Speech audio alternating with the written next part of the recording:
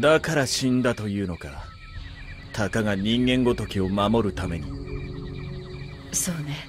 ジェレイントは人間たちに好意的だったから。自らの義務を忘れるとは情けないやつだ。そうね。ブラックドラゴンの力が消えた。まさか。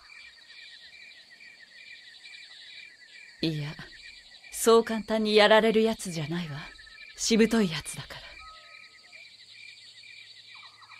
それもそうだな。返す貸しは山ほどある。ところでいつまでここにいるつもりだ？生命の木の力が弱まったわ。新たなエルフの女王が現れるまではここにとどまらなくては。厄介な